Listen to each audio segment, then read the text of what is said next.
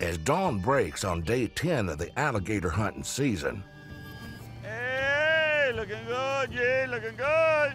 Feeling good. Frenchy and G are heading out in their souped up rig.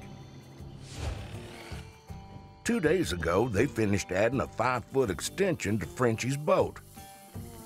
And now it's time to put her to work. Got so many alligators out here. They're getting big and they're getting angry. They ain't too far from my cow pasture.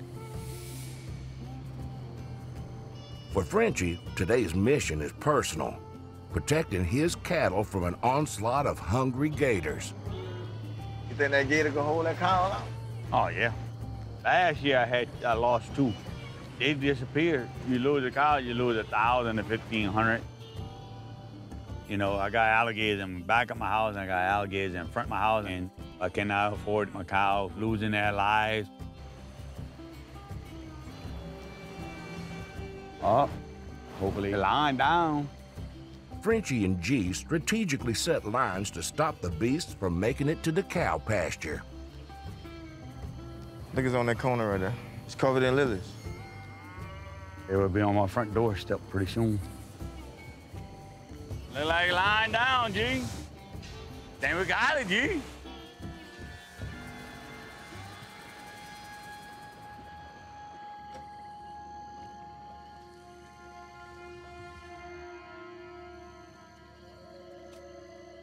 Let me see where my rope at.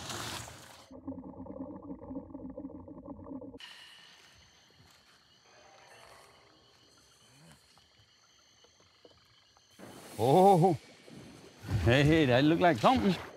Oh, I like seeing bubbles. We might have us a man. Come on, Big Law. Watch yourself. Oh, yeah, that's a good one. Oh, yeah, he's a man. Oh, oh, he jaw hook. He jaw hook. Take the gun. Come on, give me that shot. Oh, Please don't straighten that hook out. oh, hit the goal. Come on, give me that shot. Oh, I want that shot. Do what you gotta do. damn. Hurry, hurry, hurry. Give me that shot. Give me that shot. Get ready.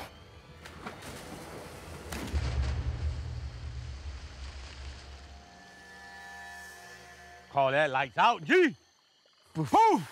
I put it on your tonsils. You'd have cried if that one got off. what? Well, I'm gonna cry. You ain't gonna get any of my cows.